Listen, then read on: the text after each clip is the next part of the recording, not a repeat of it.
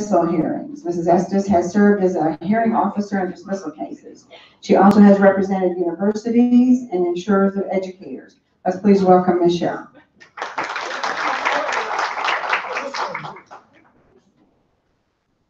And the first thing y'all are saying is that why is she here talking to us about what we do? Because education and employment probably is not, uh, top on your list of top things to learn about today.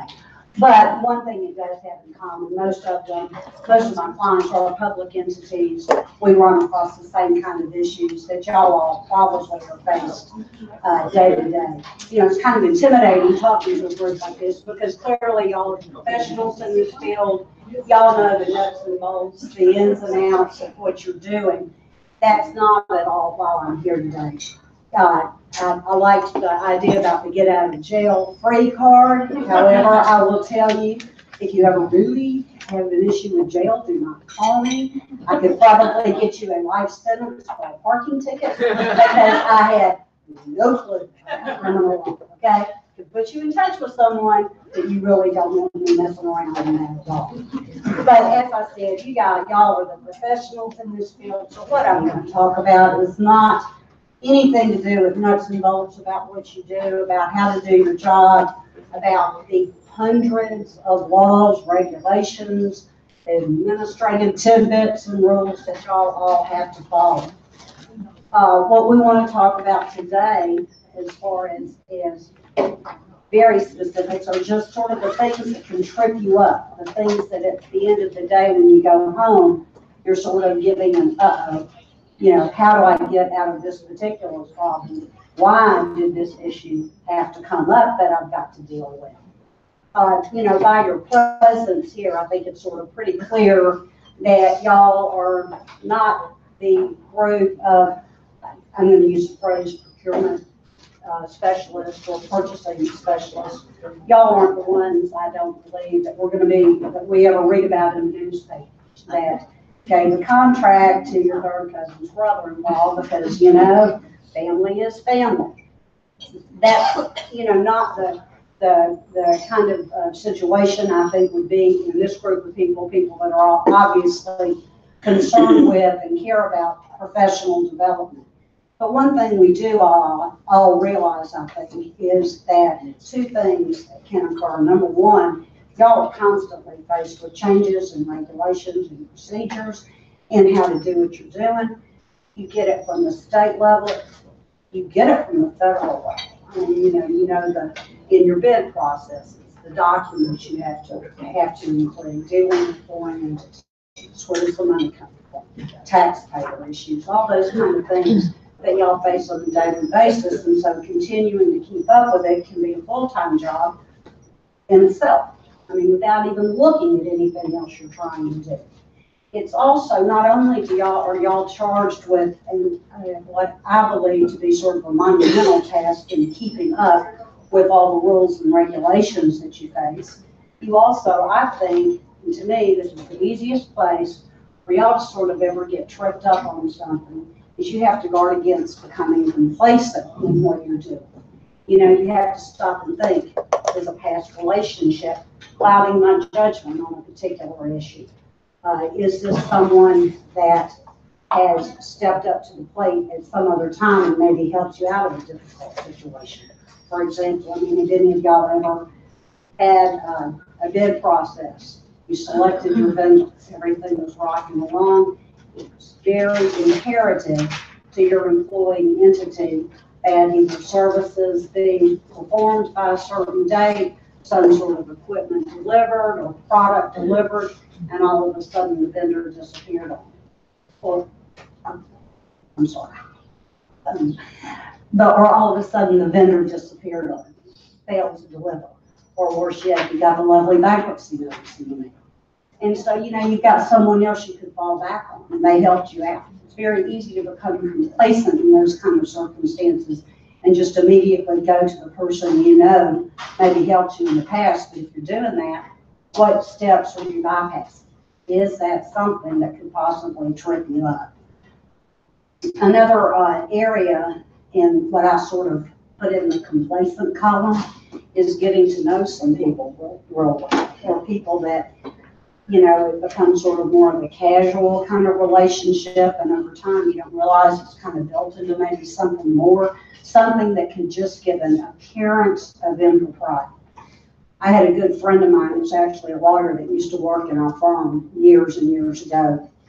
And he decided he did not like the, uh, uh, private practice, and he went as general counsel of a, a pretty large medical device uh, manufacturer. And he said that from the day he took that job, he never again would have had to pay for lunch and probably dinner if he had not wanted to.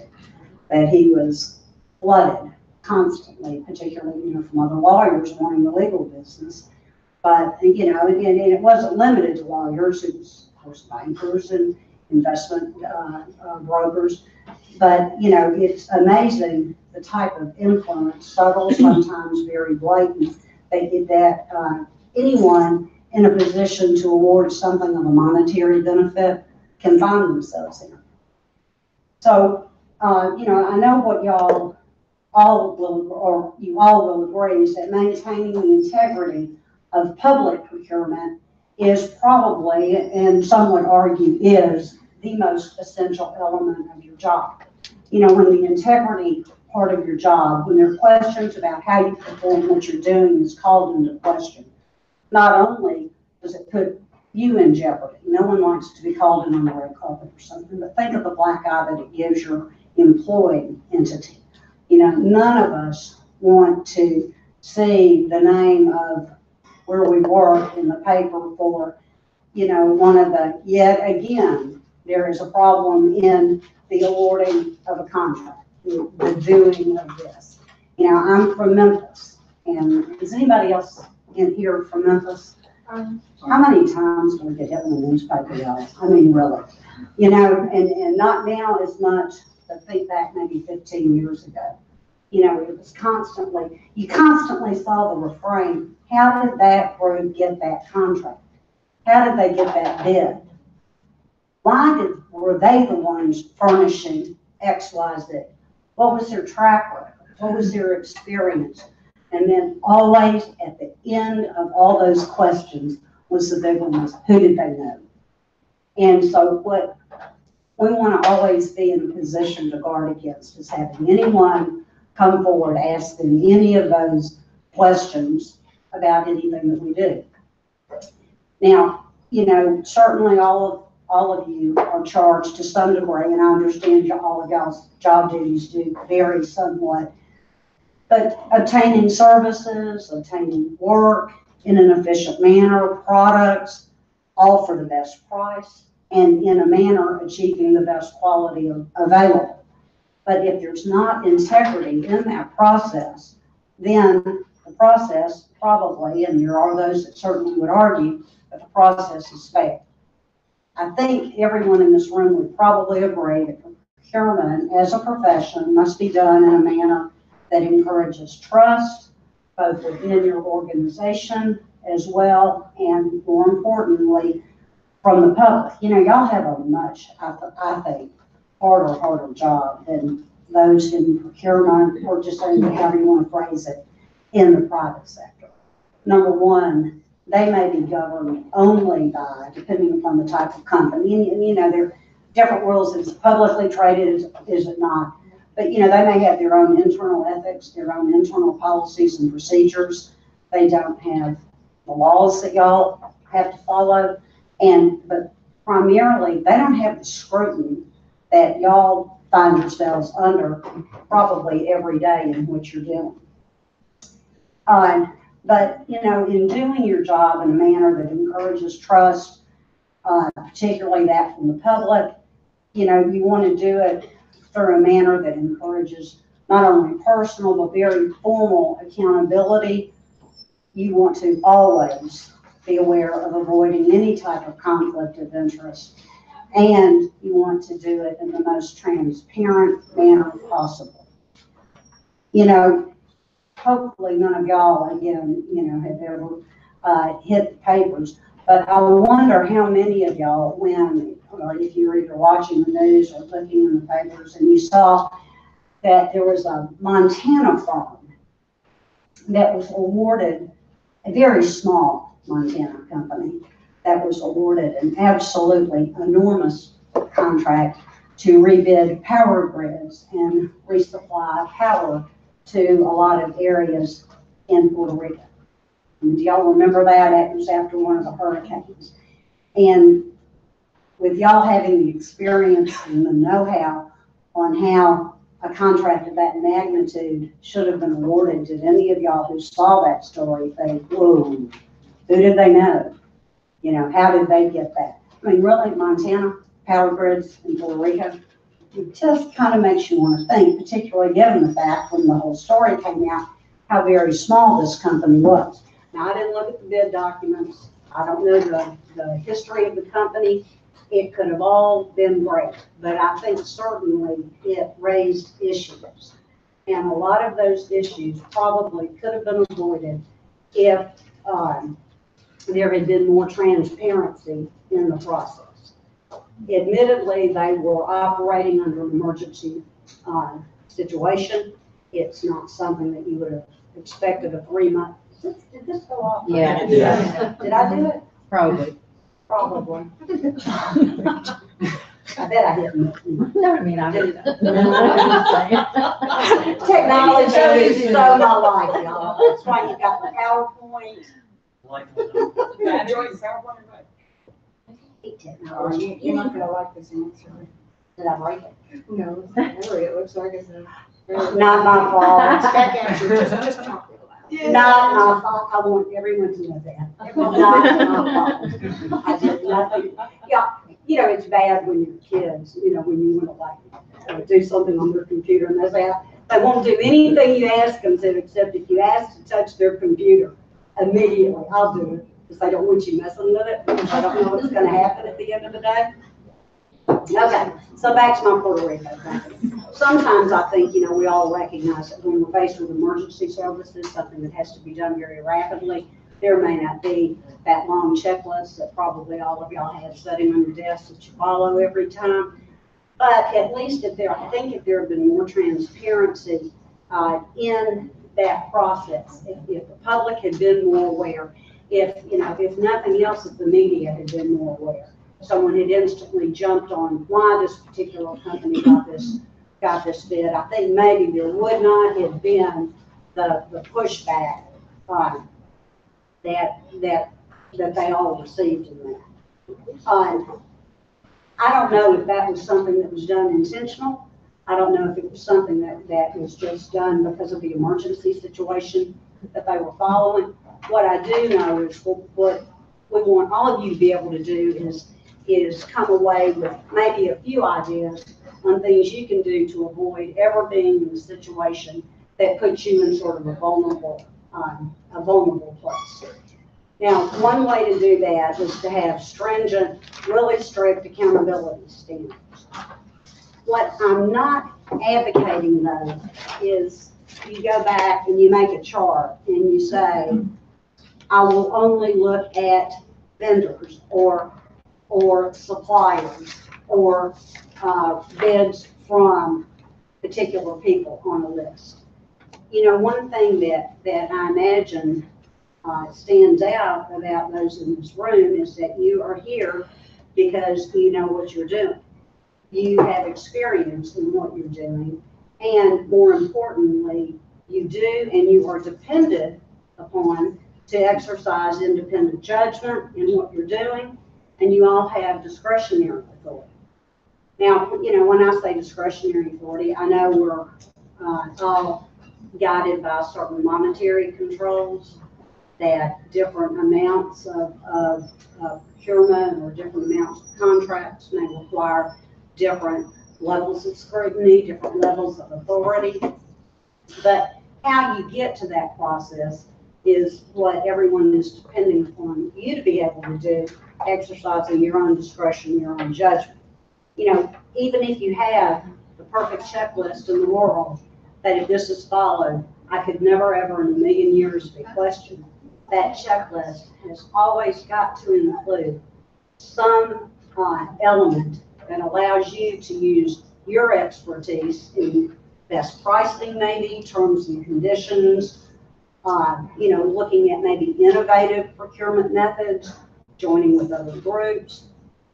We have to recognize at all times that what we want to rely upon and what your employers want to rely upon is your experience and your discretion and your ability to do your job. Certainly, there are no rules that will provide safeguards, every single safeguard that's necessary. There's no silver bullet. There's nothing that ever protects, you know, what you do from being maybe called into question or reviewed hundred percent of the time. There are some, however, some things we can look at that, you know, maybe at least will help provide a buffer or just, you know, make sure that if something in the process of what you're done is ever questioned, you can be assured that you're in a position to say, I met all the legal requirements. More importantly, it was transparent, everybody knew what was going on, and it was done in an ethical and honest manner. You know, certainly I, I imagine all of y'all rely upon the central procurement office in Tennessee for certain policies and procedures.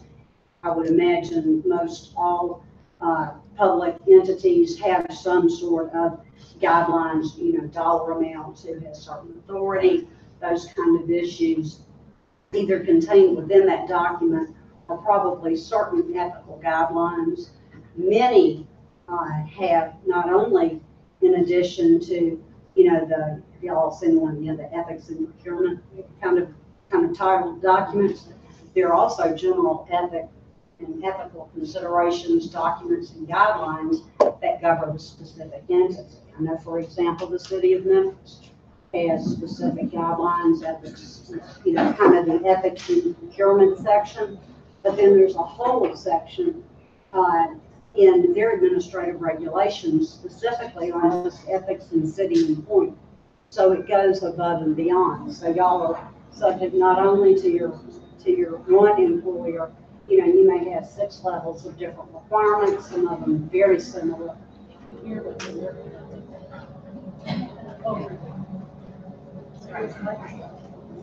They must be working on the microphone in the room. Okay, if y'all start can't, I will try to remember to keep talking loud, but sometimes I kind of slip back in. Um,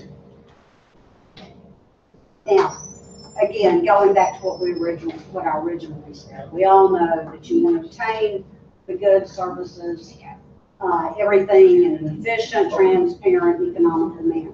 But how do you always go about doing it? One thing that I would strongly recommend, and it's, it's a term that frankly, I kind of hope would disappear from general usage, but I think it's here to stay, is performing your quote to due diligence, okay? A lot of times, oh, here we go. Back.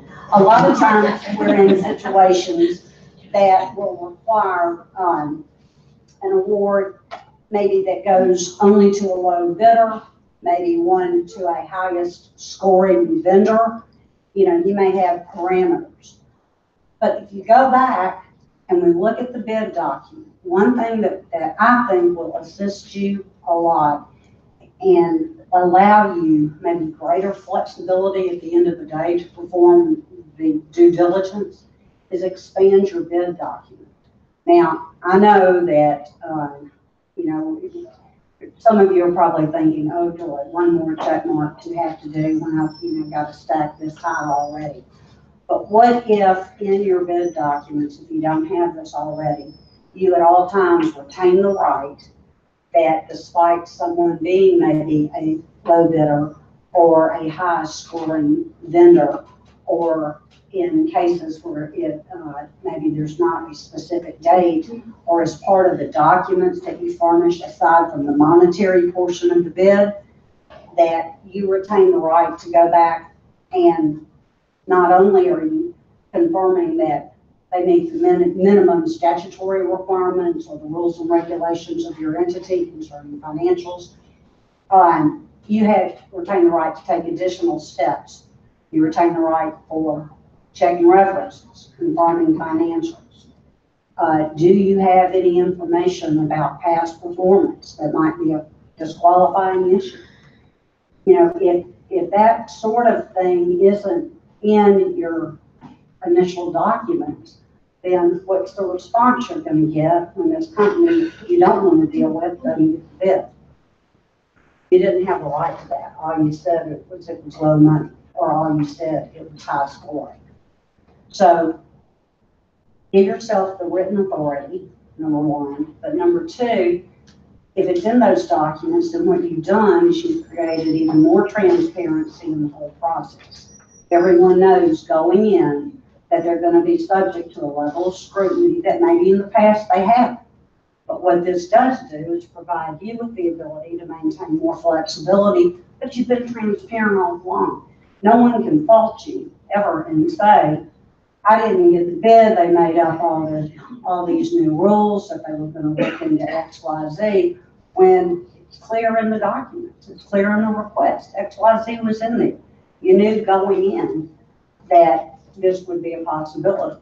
This gives you the flexibility, the legal ability, and the ability, hopefully without question, uh, to exercise your discretion, to review. You know, you can look at past conduct. You all have experience with different companies, with different vendors. You know who does what they say they'll do. You know who has overruns. You know maybe who's, who's come in, um, underneath budget. And so, you know, those are things that, that, you know, while you may not be able to give brownie points for certain things, you can look at the negative, and that does give you the ability, provided you retained it in your documents, to look past what is on its face, someone meeting all your specifications to a T. But let's, and let's expand those levels of, uh, uh, of specifications. You know, be, give yourself the authority to look at track records. Now, on having encouraged everyone to sort of look at what steps or due diligence might, uh, assist you, might help you in, in, in your process. Um, if it's not stated on the front end, then I'm, I'm saying it probably would open you up to more scrutiny if those are steps you tried to in- implement after the fact, okay? Again, it goes back to transparency. What you don't ever want to have is have uh, someone submitting a bid or certain vendors that you utilize say, nobody ever told me that part, okay? That's what opens you up to criticism. That, you know, nobody ever told me that. When did that become a requirement? When did that, when did that element either disqualify me or knock me down two or three points? So, you know, everything's gotta be done on the front end. Otherwise, what they're gonna say is you're stepping outside the parameters of the bid process to try to select another vendor. And obviously, you know, what we don't want to do is ever have a bid process uh, where we end up not going with the, with the winning bid based upon how the winner is defined in your initial bid documents, your request for proposals, those kind of things. Um, okay, sort of changing a little bit. How many of y'all have heard, or maybe I should say, how many times a month do y'all hear the phrase, avoiding conflicts of interest. I mean, it's probably, yeah, something that, that comes up daily, I'm sure, every seminar you've ever gone to. Someone has, you know, come up with this marvelous new thought that you might want to consider avoiding conflicts of interest. We've all heard it, you know, I mean, going in, in, you know, back in law school, we have our definition of what a conflict of interest is. And believe me, you don't ever want to get tied up in that situation. Large firms and because our firm merged a few years ago, we're now a, you know, kind of large firm. You know, we have committees that address conflicts. That, you know, it's just something you don't ever want to be in a situation where someone says, didn't you see that you had a conflict in that circumstance? You know, some of them are so easy to recognize. You know, for a law firm, uh, you know, if I represent uh, John Jones in a lawsuit involving a car wreck, my partner next door can't represent Mary Smith, who caused the car wreck, because Mary is saying Johnny caused the car wreck, and, you know, the other lawyer and I aren't gonna sit back and forth discussing the case. Those conflicts are easy. conflicts, um, that are not as easy to recognize though, are the ones, are the ones that are likely to trip you up. You know, we all know, go back to the brother-in-law that's gonna be at Thanksgiving dinner, who owns the tow truck company, and your city has a contract for towing services. You know, for some reason, towing services ended up in the paper more than, uh, maybe it's Memphis, maybe we just had, had more of that. But really, we get that, that issue in the newspaper a lot. But, you know, that's the easy conflict of interest to recognize. Ones that may not be so easy are, uh, when you have private investments in a company or, or a relative has an investment in a company, they could just be a totally silent partner, silent investor. It could be, you know, some sort of limited, uh, uh, uh, partnership that you don't even realize that they are participant in. You know, that's why it's, it's so important to find out, particularly with smaller companies, who owns it, who are your investors. Because that's the kind of thing that, that you could end up without even knowing that someone does have an interest in that. It's another thing perhaps in your due diligence documents is to take a harder look at who the, who the owners are of the companies that you're with. You know, in some instances, arguably, it would be so far removed that, that, uh, and certainly, I- and and let me also say, I'm not implying at all that, you know, your third cousin who's an investor in the tow company is gonna give you a kickback for making sure they get the contract. That's not what I'm saying. What I'm saying is, is when that tow company, uh, towing company doesn't make the runs that it's required to, or cars are left abandoned on the streets, and then there we are in the newspaper, or, you know, I'm kind of dating myself, I'm not in the newspaper anymore, but on the internet. But, you know, the articles that are there in the daily publications, and all of a sudden it's gonna come out that maybe, you know, there was some sort of connection back to the person who awarded the contract. You know, you wanna be in a position to say, we looked at that issue, we know who all the owners of a company are, we know who the silent partners are, we know who the investors are. We addressed that. There was no, uh, uh, benefit given. In fact, we ran it by.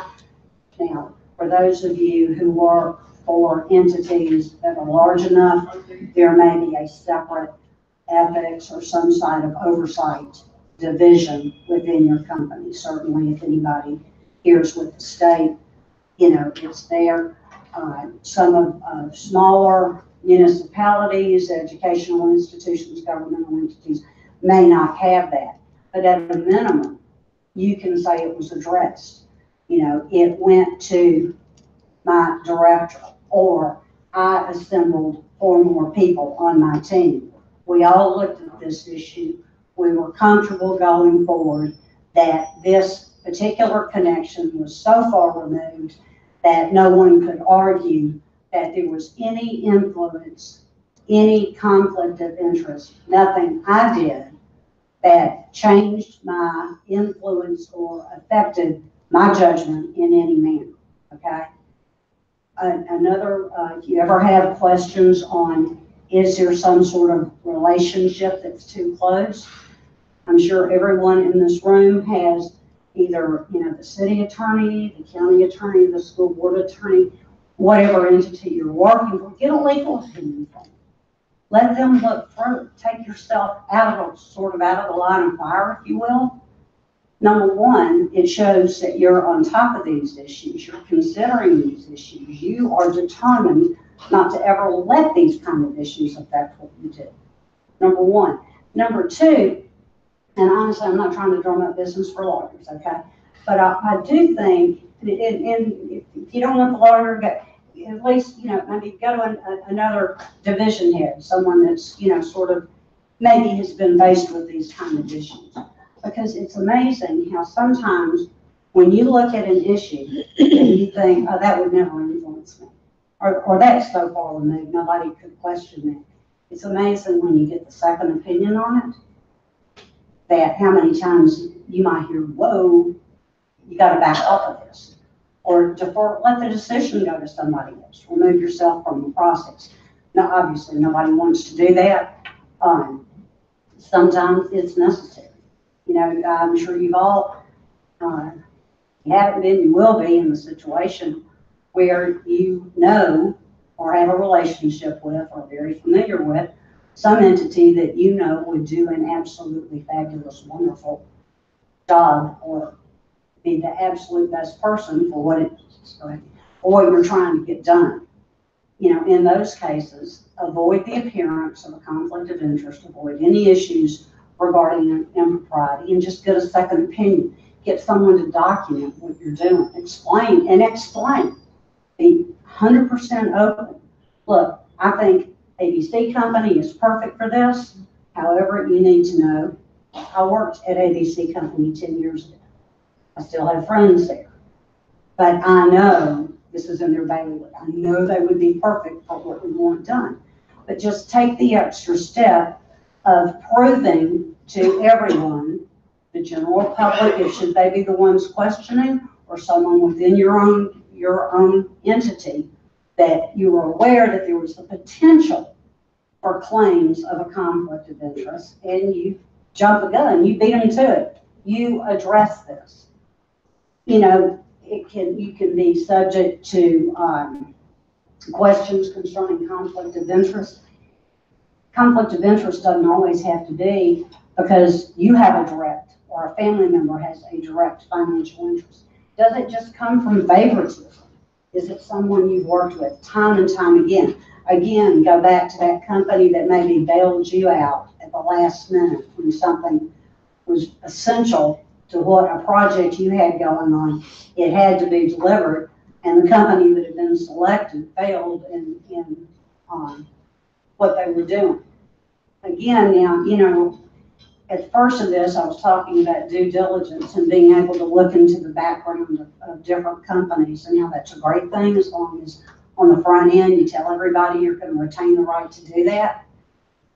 Well, sometimes the very thing we want, a good track record or experience with a particular vendor or a company, ends up being something that could create at least an appearance of conflict. You know, how many times has ABC been the successful bidder on a particular process? You know, does, and, and sometimes you're limited, you know, you don't have a choice. Unfortunately, a lot of times you may request bids and, and the uh, response is no. And so, you know, you're, you're, you're kind of stuck in what you're doing. There may not be a huge pool to select from. Some things are very, very highly technical kind of things. And you may not have the option of reviewing twenty different responses to a request for proposal, in, you know, in, in what you're looking for.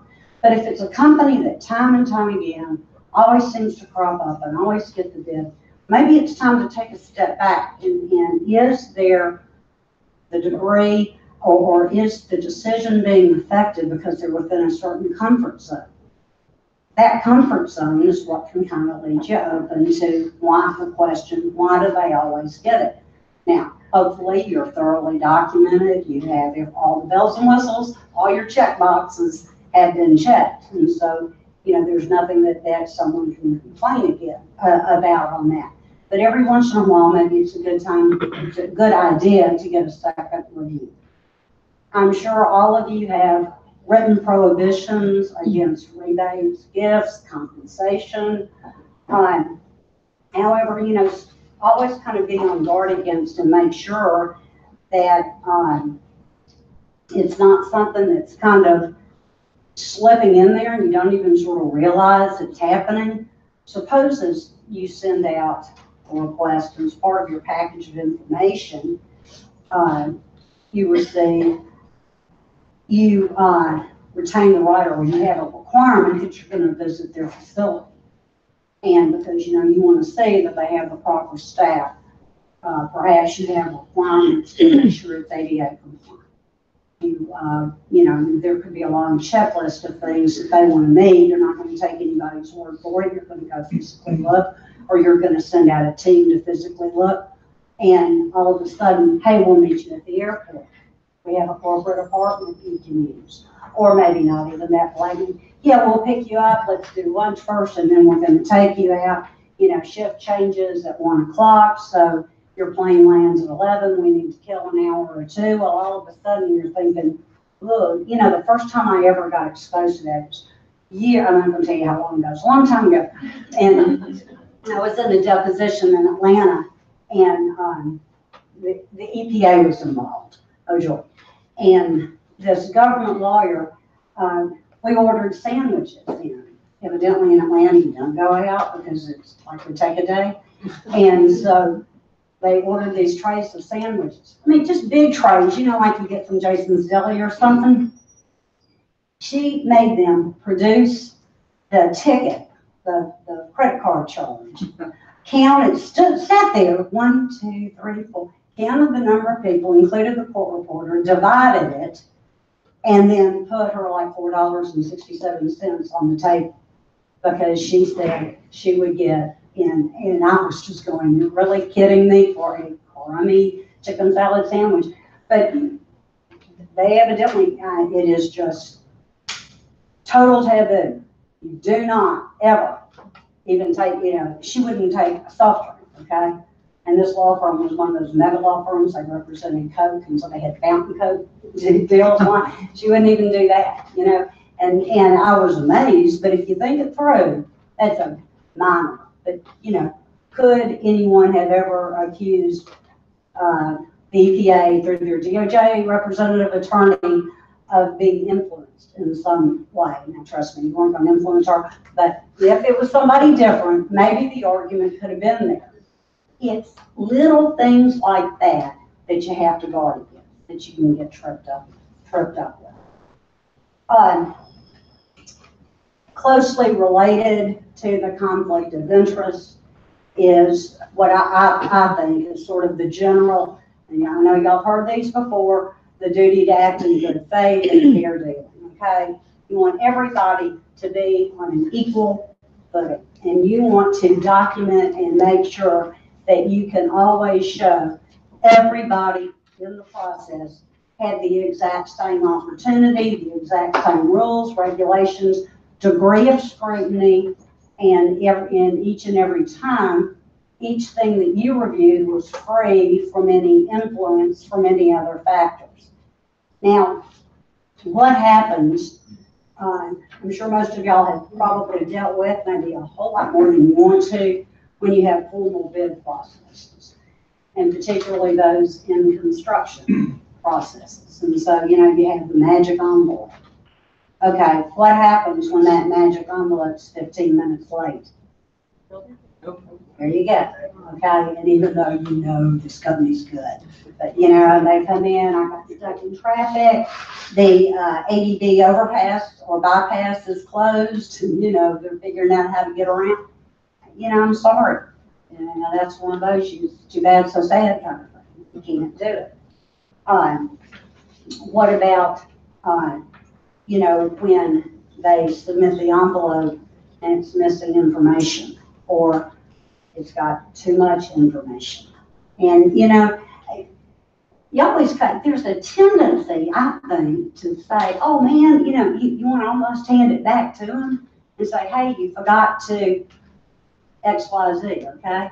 But you gotta keep in the back of your mind, unless, one, the statute allows that, or two, you look at every single person giving you that bid and say, hey, you forgot X, Y, Z, including the company that did the awfully horrible job the last time they got a bid. You can't do that. Now, I know, you know, y'all are aware if you do, particularly like construction bids, are an easy example. There are just ironclad rules that totally take away your flexibility, I think, in how you can do that. There is very limited exception to correct typographical errors. Um, but other than that, you know, that, during that process, you're kind of losing your flexibility, but you have to guard against kind of almost being the nice guy in that situation. You just sort of can't do it. You know, either they, they follow the rules, uh, or they don't follow the rules. And, and that one, in that particular situation, that's kind of an up or down. It's either you did or you didn't. Um, now, um, you know, if you have an issue, if you have an argument, when you have the protests following those, I always recommend that no one person make the final call on that. Again, it sort of subjects you and subjects the, the whole process into being scrutinized. What I would do is, uh, again, go back and assemble the team. I know that for many of y'all, it, uh, depends on the size of your entity and the availability. If there's also, in some of what you do, there's a very, very defined area of expertise that my guess is ninety percent of the employers in your particular entity have no clue about what you're doing. They don't know the regulations. They don't know the, the involvement. They don't know the steps that you have to go through. So sometimes assembling the team may or may not, uh, provide the, the level of expertise that you need. And, you know, in those situations, I do, you know, it's sort of like what we do at work. You walk down the hall, but in your case, you know, you might pick up the phone to, to the other people and say, you know, I think I'm getting on a tight, sort of a, you know, the highlight here. And, and what do I need to do to kind of get off of it? Um, again, go back to your initial bid documents, how far out of range are we? And then pull the Tennessee statute and those lovely administrative rules and regulations. And boy, if it's not in there, it's an exception. If it's not listed as something easily correctable, then it's just got flat out be denied. Otherwise, you just open yourself up to all kinds of criticism, the whole bid process. And then you really will need the lawyer because you'll get sued by the person who's the next closest bidder. And you all know that that's typically, uh, you know, what would happen. Again, you know, that's the kind of thing you would want to absolutely document very closely or very thoroughly. You just want to be in a position to be able to say, you know, I did it because. Now, some entities are kind of moving from the bid process, are recommending, here's another one of my favorite phrases, in addition to due diligence, the best practices. I'm sure y'all have all heard that one like 500 million times. But is uh, to start engaging in what's been uh, described as a proactive transparency. And how many of y'all have already seen the articles, gotten the emails or the publications describing that concept? Concept. Some states have even gone to requirements for, uh, at least at the state level, and then a lot of times uh, municipalities or educational institutes will simply adopt the state guidelines as their model that everything's almost an open procurement process where vendors can even attend evaluation meetings. Uh, you know, uh, when you're either opening the bids, you're reviewing all the contracts, maybe they, when a sealed bid kind of situation, you're responding to requests for proposals. Uh, sometimes maybe that, uh, evaluation meeting is done where it would give someone sufficient time to lodge a protest based on the bid. Now, you know, that all sounds wonderful in a very pristine sort of world. Y'all, come on, let's just make your job harder. You, you get another level, you know? I, I just, I'm not confident. To me, the open transparency has its value and its worth to me in making sure that your bid documents are clear, your requests for proposals are clear, your product descriptions are as clear as you can be, that public notice is thorough, it's, it's done in a way that reaches the most, pe- the, the most, uh, potential bidders or, or people submitting quotes to you.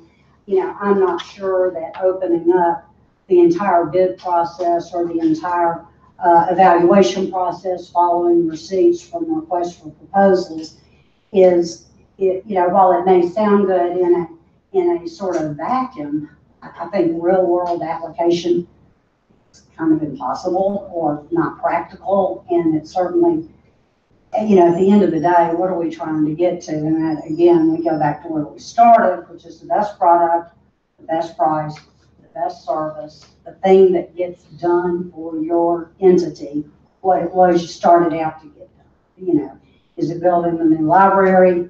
Or is it, you know, getting reams of paper or copy toner, you know, at a certain price? I mean, you know, y'all, some of y'all have the, you know, new city hall, seriously down to, to, to the toner, you know? So what is it we're trying to do? And I'm not confident that putting more layers of public scrutiny or public, um, comment or input into the evaluation process is the best place to, to, to do, to do that. I think it's the overall process and the notice, the descriptions that need to be thorough and transparent. You know, another thing, some of y'all, and, and again, y'all saw my great ability with technology, so I do really good on this, is like when you're doing computer or, or uh, IT services. Well, you know, I, I think sometimes you need an interpreter to look at, at what those people were talking about doing, I would. And, you know, I'm always just real happy when I'm in and out on email and I haven't messed up anything, so, you know, I, I, the best job protection is to become a secretary to an old lawyer. Because they can never, they'll never get the hang of all that other stuff. So, that- I mean, that, that, you ever know someone looking for a career, that's job protection one hundred. Um, but, uh, you think, of you think I'm kidding, I'm so serious. But, uh, another thing you have to guard against is disclosure of proprietary information, trade secret information, uh, any uh, patent process, any of those kind of things. So sometimes when you've got, on the one hand, people telling you, be transparent, be open, we want to review your records, there's your freedom of information request, you know, all those kind of things. On the other hand, y'all are also sort of the gatekeepers and responsible for certain proprietary information or, or protected. Just say could be protected under a whole number of different areas. But if you're responsible for that, then, you know, that kind of puts you in the place where, okay, which one gives? You know, and I submit always, it's gonna, if you're, if there's legal protection, then go with the legal protection. And that's the one that's gonna have to take priority. Now, I need Debbie to help me, we've got a few examples, and some of these y'all are gonna think Mickey Mouse, okay, blatant. But sometimes it doesn't hurt to look at, go back to the ABCs, okay, you know, uh, to the very basics of what do I need to do to make sure no one can ever fault my entity's purchasing, bidding, whatever process, okay? Okay, so say Cirque du Soleil is coming in, if you, the first person to answer, you call them, okay? Cirque du Soleil is coming to town, okay? The tour manager understands that you are the city purchasing agent. And they contact you and have agreed to save you four front row seats, okay? How many of y'all have been there, done that? No, I know, not that you took them, not that you took the tickets. How many of you have gotten the offer? You know, okay. Um, they want to give you four front row, uh, seats. But, you know, they also need four hotel rooms for the tour manager and her closest friends at, y'all insert the name of the nicest hotel in your city, okay? And so you're thinking, hot dog, you know, I can take the kids, they'll think I'm wonderful. So you decide the best way to do this is you contact the, again, insert name of hotel, and tell them that you need four rooms on behalf of your employer, okay? But you're paying for it. You're using the tickets, you're paying for it, but you know, this hotel rarely has vacancies, but you know, uh, they will always accommodate maybe what is in your city the biggest employer. Okay, or for whatever reason, because of a convention coming up, you know, they want to always accommodate you. Is this a violation? Oh, yeah. Okay, somebody's gotta raise their hand, because I've got great gift bags with things to fill up your. How many gifts did you bring? I think, I, I think that's one right here. It is. Miss Pam was, uh, giving herself whiplash. It's always a breach, and there are, or I bet if you go back and look at your, uh, ethical rules, certainly if you look at the state rules, always an ethical, it's always a breach of ethical standards for any city, now, you know, change your name to county educational, uh, employee or official to make or attempt to make private purchases in the name of the city, or to use their position to secure any privilege or exemption for himself, herself, or others that is not specifically, and believe me, please latch to specifically authorized by local or state law or policy. Okay? So the problems with this are several. Number one, why was this entity coming to you? What are they wanting down the road, okay? Ah, you have four tickets now to an event that's been sold out for thirty minutes. Um, you know, okay, what do they want? Number two, use your clout. You know, you have authority by virtue of your job, the amount of money you control, the opportunities that you have out there. You, you all have a lot of clout, okay? So why are they wanting, are they using it for the clout, or is it some sort of future issue that they want? Okay? Number two, or number three, the last thing you want to do is be, uh, the one that people say, boy, you know, they get all the good stuff. Because all of a sudden, if the rumors about they get all the good stuff, then someone's gonna be questioning, one, why do you get it? Two, what do you get? And three, should you pay taxes on it? You know, and then we get the IRS involved. And, but mainly, it, it kind of makes everything suspect on what you may have done in the past, okay? If, if, if you kind of walk, if you kind of accidentally get in those situations, you could have done every other contract, purchase, bid in the absolutely most perfect manner possible. But what it does is it- it opens you up to scrutiny, okay? It just makes it, it makes every other situation that you've ever done be called into question. Okay, you, she gets a baggie, and like I said, everybody needs stuff for their junk drawer, right? Okay, um, a member of a procurement team found a hundred dollar bill attached to a bid on her desk. Okay, now I know y'all are thinking the ultimate stupid example. I want to start this one while all of y'all are kind of rolling your eyes thinking nobody would be that blatant. This is an actual case in Tennessee. Okay. Okay, so I, this one didn't make up. Okay, so the uh, procurement, uh, uh, member, team member immediately contacted, uh, what the the ti- job title was the chief purchasing agent. They immediately contacted the attorney general. You know, you can't bribe public people, and that's a pretty big no-no, okay? The vendor who somehow had a hundred dollar bill stuck, uh, to a bid was asked about the situation. I know you're shocked, shocked, but the vendor had no idea how that hundred dollar bill got stuck on the back of the envelope. Okay, the procurement team decided to still consider the bid.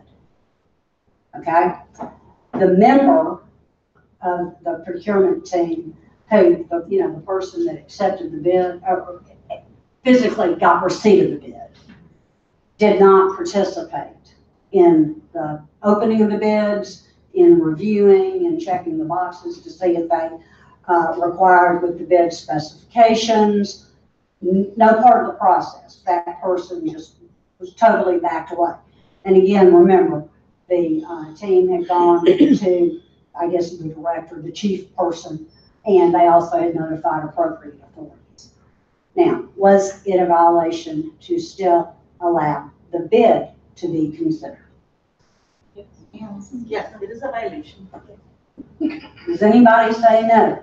She gets the prize for answering questions. Right or wrong? Now, in this actual, it's a reported case in Tennessee. The position of the procurement team said, nothing excuses the behavior of the potential vendor in attempting, although remember they denied it, to bribe a procurement officer. However, the procurement team was also faced with another issue. They were desperate for competition in the bid process. And they were in a situation where they were having very, very, oh, she must have experience, she's sort of shaking her head, have difficulty in getting the competition, okay? So what the court did was look in this case at the issue of not as much of the process, but what was done and viewed it strictly from the question of what's in the best interest of the end user agency, i.e. whoever it is y'all are, out there, uh, looking for bids. The procurement officials, the, the group on the team that eventually looked at the bids, you know, went down the check mark, made sure everything was in compliance, um, remained impartial. You know, nobody pocketed that hundred dollars, okay? And everybody kind of reacted to it like, whoa. Um, the, uh, it probably didn't hurt that at the end of the day, the contract was awarded to another vendor.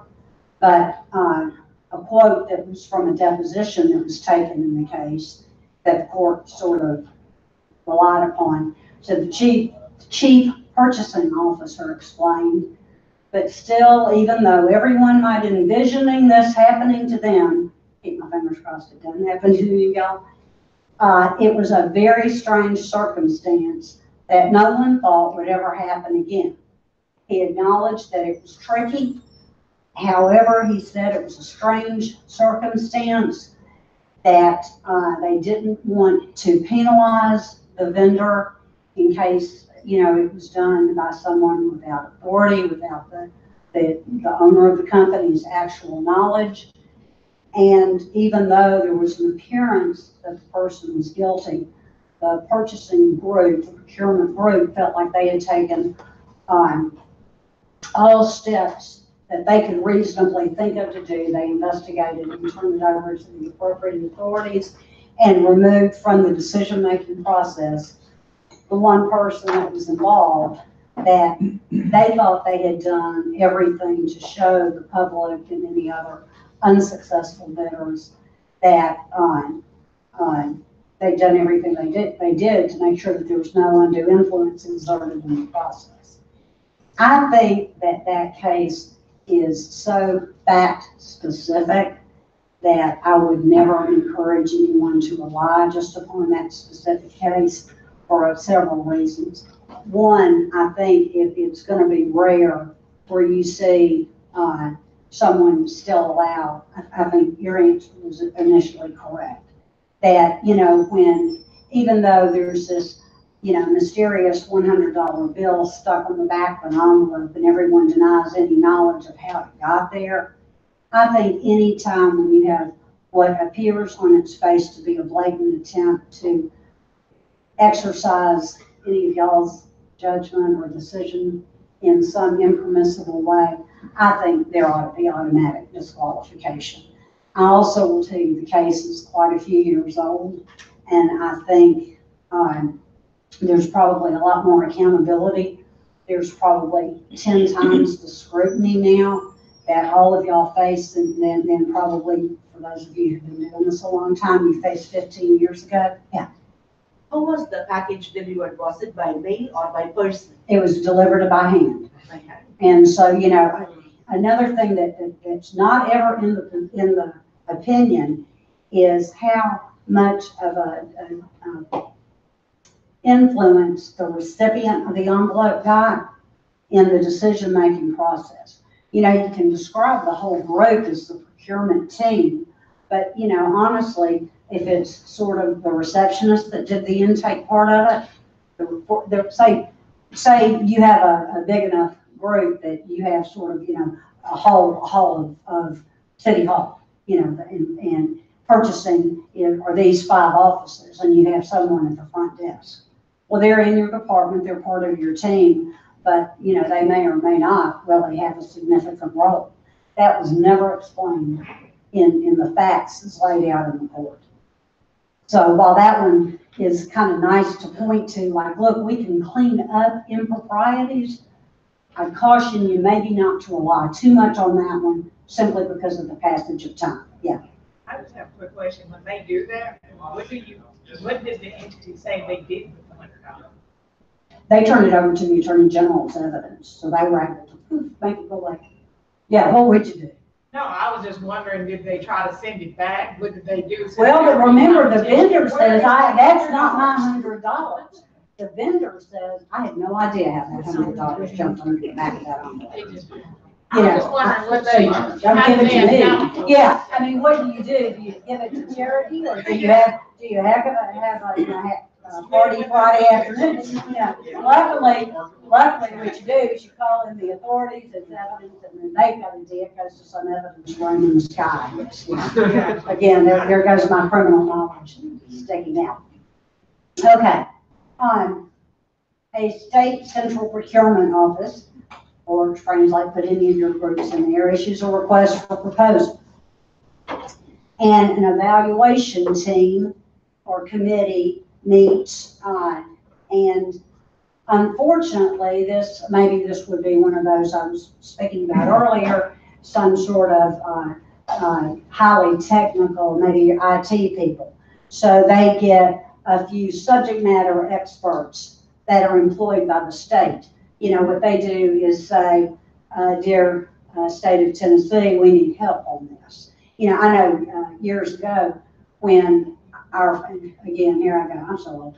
Years ago, when our firm networked and we got, you know, we did all these computer upgrades and stuff, we realized that we were asking for, uh, or trying to hire someone who we didn't even know what they were talking about, you know? So we had to hire a, uh, uh, sort of a consultant to tell us who to hire to do the work. Okay, you know, nobody had a clue what they were doing. So, you know, I'm sure every once in a while, a lot of you have been faced with, or you may be in, in the future, faced with acquiring some sort of service or product that is so technical and so specific to needs that you have to have as part of your evaluation team, some sort of subject matter expert, okay? And so you contract with, or you are able to acquire, you know, by some sort of reciprocal agreement, some sort of subject matter expert or group of subject matter experts to help you in your evaluation process, okay? Now, in this case, the purchasing officer noticed that one of the evaluators, one of these pros in the field, okay, one of this subject matter expert was named in one of the proposals by name. You know, John Jones is in here and will provide training to your employees, yes. Conflict of interest. Well, aside from that, for the evaluator, the evaluator certainly should do y'all all a favor and say, whoa, I'm out of here, not place the burden on y'all. But here we're with the situation where the subject matter expert, and remember, this may be something that is so technical and so limited in expertise that you can't go out and get five more substitutes in, okay? And maybe you're kind of far down the process, and this group has already been meeting for weeks. They assisted you in your specification portion of your bid or your request for proposal. You know, they gave you the technical knowledge, I mean, that you needed to put together the request for these particular goods or services. But so now you've got someone who says that as part of this, what we're providing, all of your employees will be trained on this new product. One of the trainers is, what I say her name was, John, uh, Mary Jones.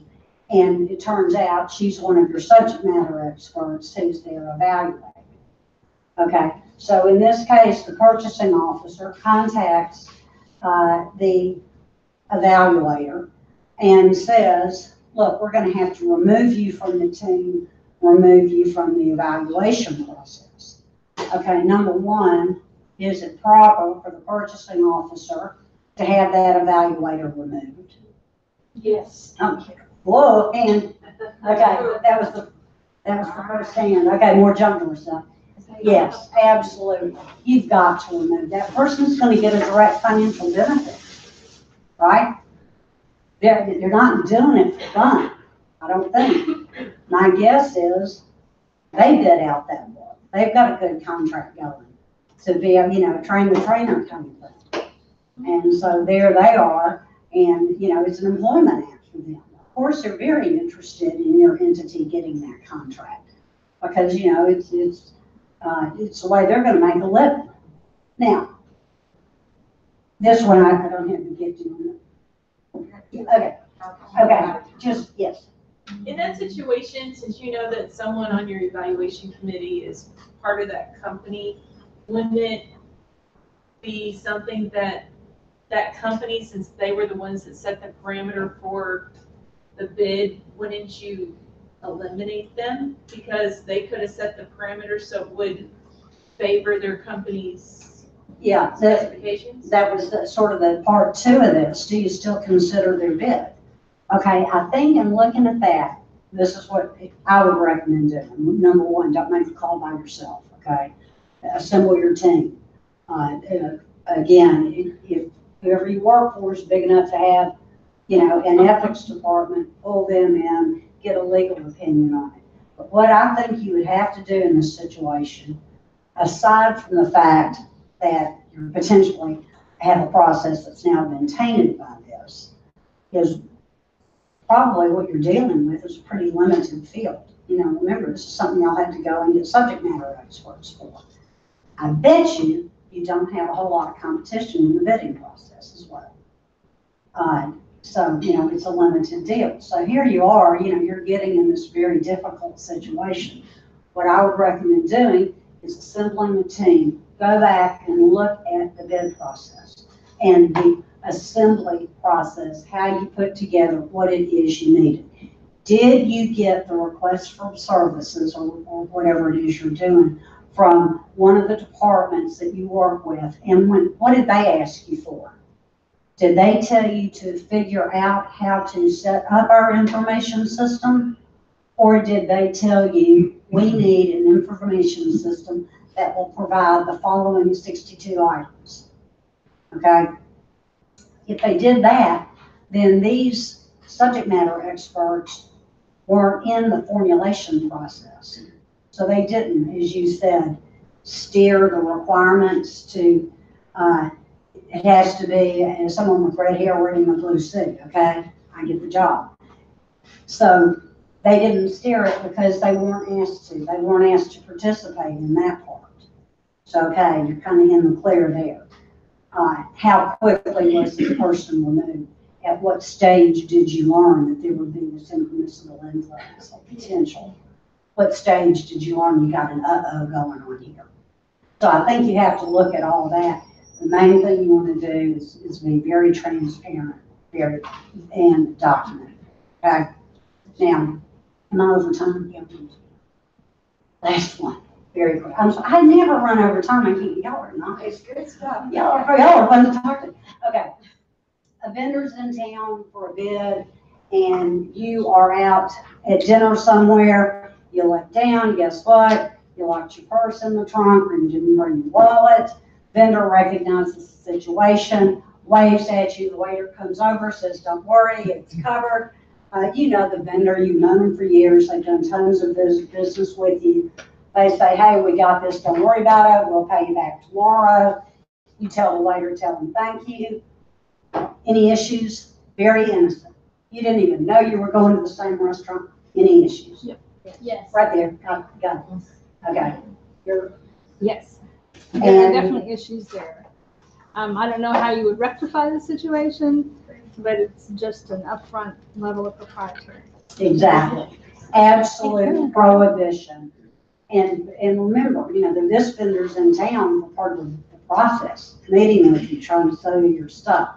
Absolute prohibition about providing gifts, because there may be some, aside from the fact it just looks bad, there may be some expectation of a benefit or tit for tat in doing it. Now, you're right, you're still stuck with being accused of trying to grab a free meal, but, you know, maybe call somebody and say, hey, bring a credit card.